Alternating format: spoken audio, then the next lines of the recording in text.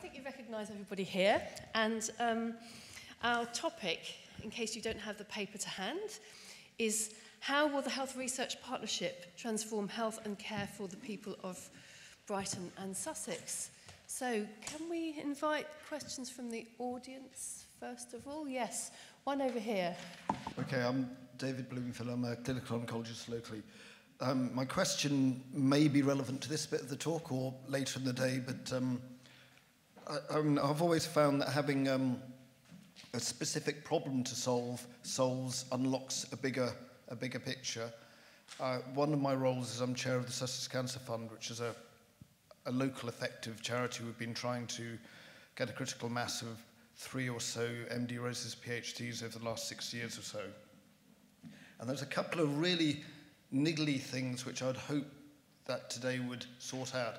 One is just accountancy. Uh, we've got a lay accountant, uh, well, a lay treasurer, and we submit, um, well, salary um, to tr the trust or the university.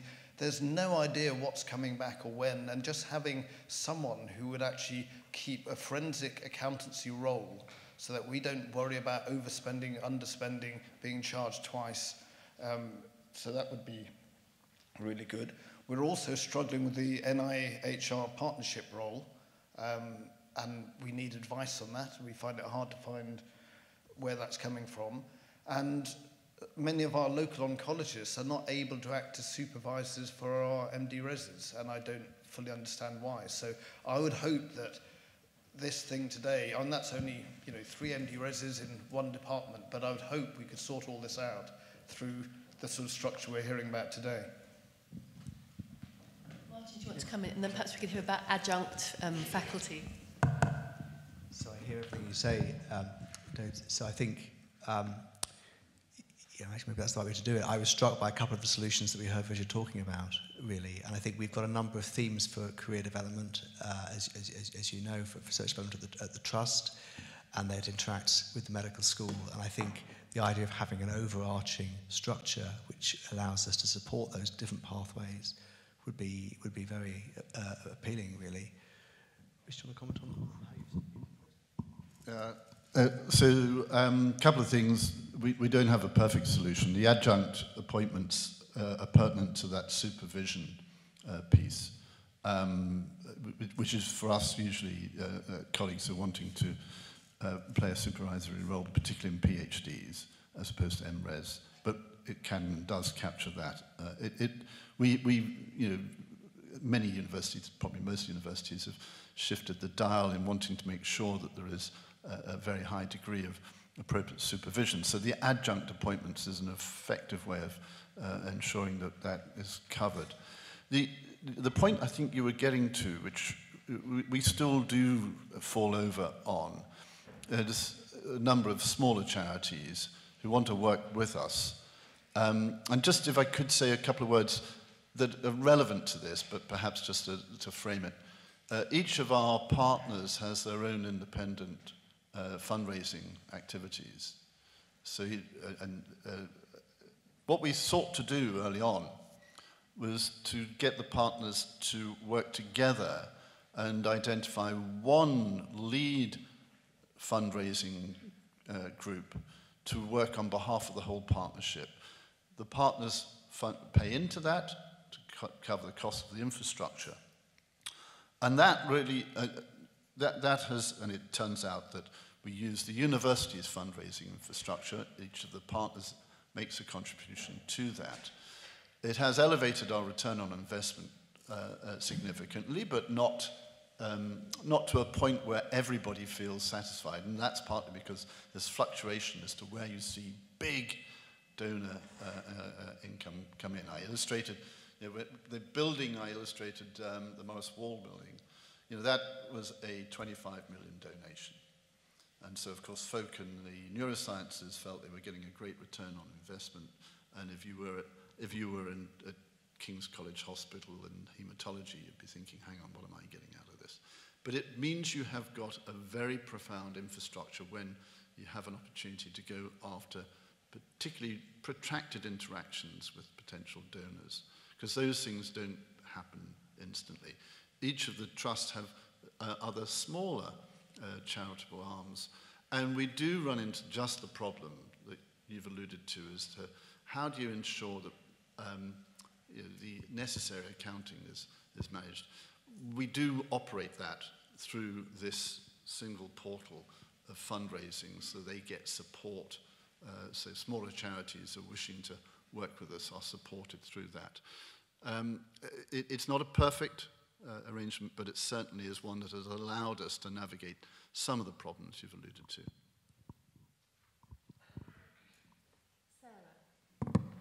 I'm Director of Research at BSMS. I'm working closely with my colleague, Director of Doctoral Studies at BSMS as well. I don't think Sandra's here. Okay, so a couple of things I wanted to say. Firstly, in, in answer to the, the person who just asked the question, David Brumbo. Yes, you can supervise a PhD student, but it needs to be an honorary contract. And these can be set up relatively easily. So I can talk to you about that af afterwards. But the th main thing I wanted to say was that I'm not sure if people are aware that there's a huge amount of training available for PhD students registered at Sussex or Brighton Um, and also for postdoctoral people, um, ours go through Sussex because they're Sussex employed.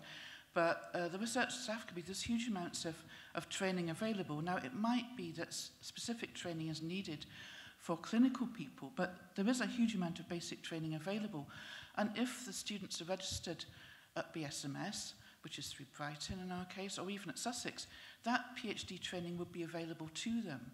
So I think that's really quite an easy way that these, uh, the, the clinical PhD students can get the training. And you can request courses as well. So, you know, that is another way to get training. And in terms of the postdoctoral, there's a lot of workshop skills courses going on. And so there's quite a lot available. And I think, it, you know, using that, but possibly a little bit of extra clinical, you know, you'll be there, basically.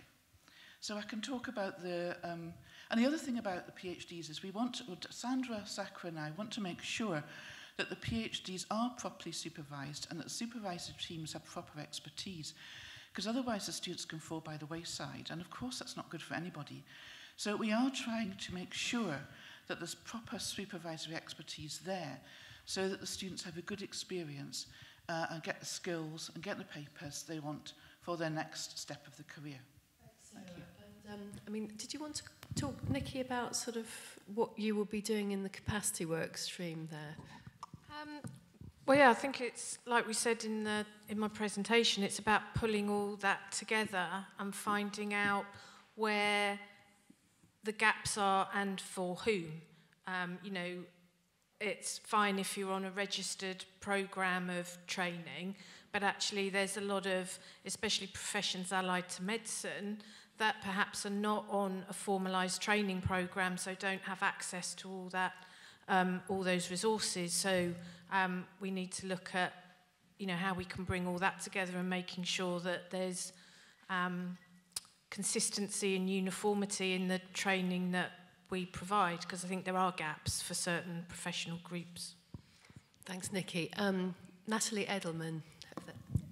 Hi there. Um, Yeah, my, um, I was struck by thinking about the fact that we're in a landscape now where the NIHR is moving towards health and social care research, where we're also recognising the impact of social inequalities on participating in research. And to do really wide-scale research, we need a lot of people to be taking part. So PPI is actually something that is actually grown to something much broader, which is about research engagement. So given that sort of background, I wondered um, what the HRP were planning in terms of supporting career development for non-clinical people. Because while non-clinical is obviously very important, there's an awful lot of people in social sciences and also a lot of allied health professions, as, um, as um, Professor Trembath raised, that I think could really benefit from support alongside clinical people.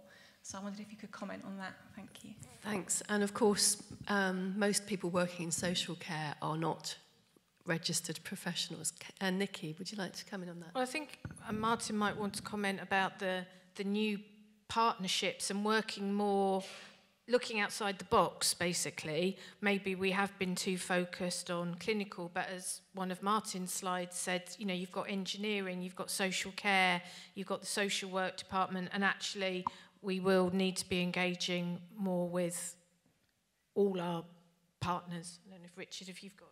Uh, I, I completely agree. And if, if I had one comment, and I don't want to be accused of not being very supportive of NIHR and now uh, uh, uh, uh, social care component, I, I, I think you, the reason that you want to be doing that and getting that breadth of engagement is that's going to allow you to be uh, in the strongest position to develop your, your, your, your USPs in the most effective way.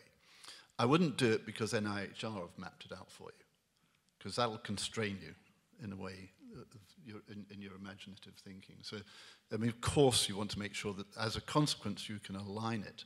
And I don't think that's what you were suggesting in any kind of way, but I just wanted, I, I had meant to mention that free yourself up from just thinking, I'll map this exactly to what they are asking for, because you'll, you'll miss some uh, uh, creative opportunities, I would suggest.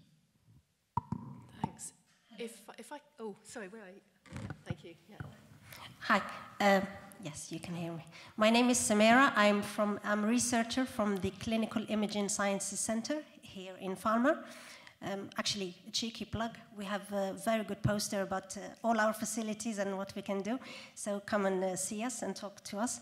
Um, my question is um, about the early career researchers, particularly the, clini uh, the clinicians.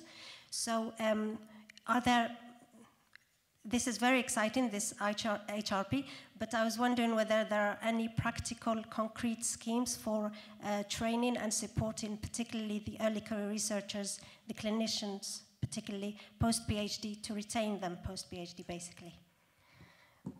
Well, I think that's part of the scoping exercise and something we need to develop within the work stream. So there isn't anything yet, but um, be great to have a chat with you about what you think that might especially look like. post-COVID, mm. because uh, especially with time, I mean, they don't, they are overworked and there is no time. So it would be very uh, useful to uh, bear that in mind and come up with solutions for that. Sure, great, thank, thank you. you. Thanks. I'm now going to Chair's privilege to ask a question, which is, um, so you can make partnerships between things that exist that have a name on the lid and so on, but actually some of the really big priorities are clinical pathways, they are um, the community services that we find so hard to define. And if anything's going to knock the NHS over this winter, it's those things. So how do we do partnerships that address those things that are absolutely preoccupying every hospital board and everybody in an ED at the moment? And it'd be good to have your perspective from King's and then um, Martin. I, I can be brief. Uh, uh, we haven't got a solution to that. All right. The, the pathways we have worked exceptionally hard on uh, we did that initially within the construct of when we formed the partnership. There was a, there was a brief moment, uh, actually it wasn't that brief, where an awful lot of effort went into uh, saying, would we really achieve the maximum if we brought of those three health trusts together as a single unitary trust? And the reason was that that would be the solution to managing those uh, acute and, and uh, specialist pathways most effectively. We probably spent an awful lot of money looking at whether that was possible, and that probably wasn't the most appropriate thing to do. And in any case, of course, it's now in, in, in substantial form been overtaken by the creation of the integrated care system, which uh, is, is clearly the opportunity to develop that. Um, so, uh, you know, it, it is the, the major focus, but on the other hand, uh, it's not the one that you're going to achieve the quickest. So, you know, put it on your list, but I wouldn't put it top of your list of the immediate things you're going to achieve. Thank you. Martin, would you like to comment? I mean, I mean really just to reiterate the importance, I think, of the ICS. I mean, when the HR, our HRP was considered, the, the ICS didn't exist yet. And I think that the reason we've put them on there as a, one of the six key partners is that I think that there is the potential for them to really unlock that problem that you highlight, Jackie, for us. But um, you know, they're very busy establishing themselves at the moment. And I, I noticed what you said, Vishnu, about you know, buffering to engage. And I think we, we, we're a little bit further because I guess they're forming at the same time as us. But there's a lot of work to be done there. And, and, and I think also with maybe local charity groups were another way of getting into these populations uh, because I think it's a real challenge, Jackie. I agree. How do you, how do you draw them in when they haven't got a badge? Thanks. Um, Professor Reid here. Uh, uh, And then I think we'll have one more question, so do put your hands up. Yeah. So, thanks very much, and thanks to all the panel for fantastic contributions. My question is, is sort of focusing a little bit on poor old Chris Whitty, who, who came into his role as Chief Medical Officer, I think really wanting to focus on the coastal and rural deficit in terms of access of, of people and patients to clinical trials.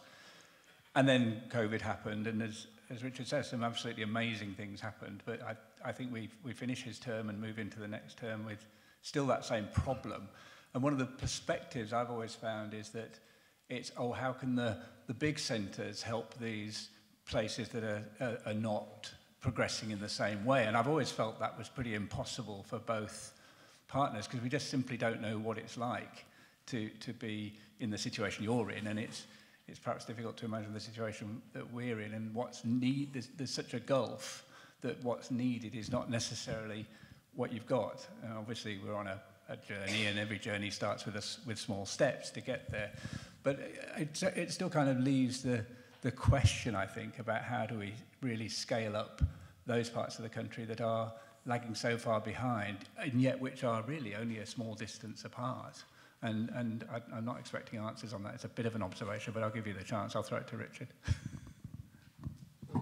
Malcolm, I'm, I'm pleased you raised it. Um, I, didn't, I didn't put in levelling up, uh, and I'm rather pleased in a way that we haven't focused heavily on it. But of course, the point you make around how do you forge the partnerships to then become partnerships that deliver more than you can do solely from the the, the assets that you have and the expertise you have within your own uh, substance. And I mean, if, if there's one thing, we have been feeling the winds of levelling up in London, um, quite, quite uh, blowing quite strong.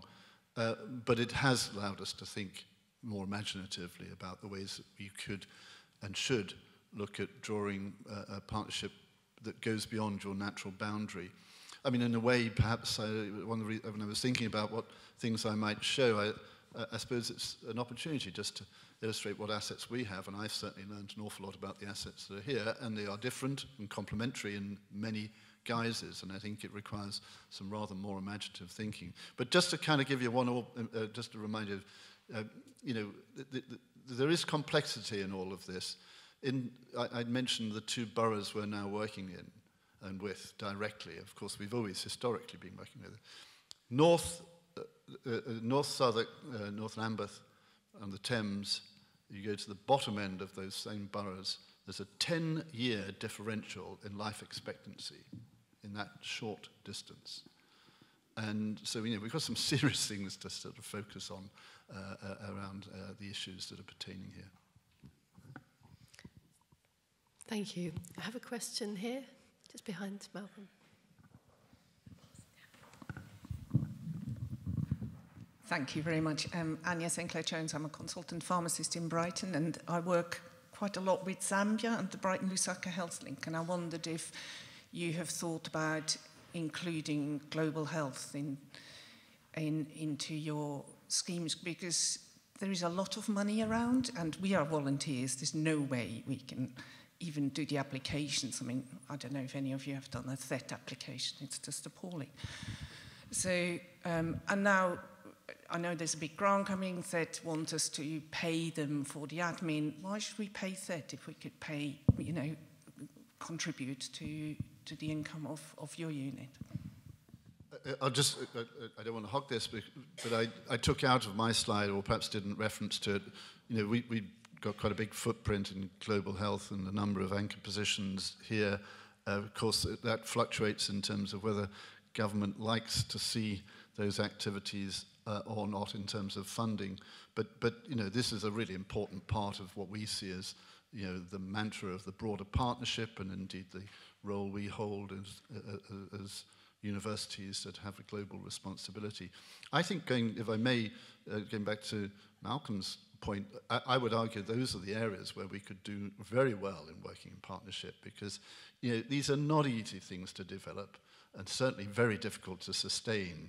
And our approach, certainly in global health, is not to dip in and come out, but to be very much uh, uh, there to develop sustainable healthcare uh, processes. So I think you know partnership is is a very definite uh, route to success there.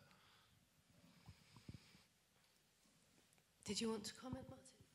Um, uh, not, not, not to add a lot. I mean, yes, there's a short answer to your question. I mean, clearly NIHR has uh, uh interest in global health and, and, and investment there, and the, and the, strength of the global health team here is, is, is very strong, as you say. So absolutely in remit, and we've got a lot to take from that, I think, yeah.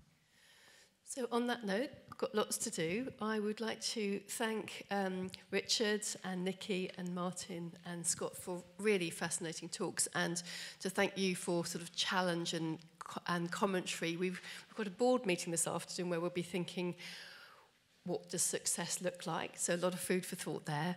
Um, so may I um, thank you all for coming and also encourage you to stay for lunch and also to meet our various partners who have stalls around. I'm sure there'll be something, many things for everybody. So um, maybe finally thank the speakers. Thank you.